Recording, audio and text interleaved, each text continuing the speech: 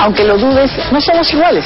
Mientras exista desigualdad social e impunidad, a nosotros nos tendrán enfrente. Tenemos a favor lo principal, la fuerza de nuestras convicciones. Créeme, confía en mí. Si este 2 de julio sales a votar por tus convicciones, habremos cambiado a México. Palabra de mujer.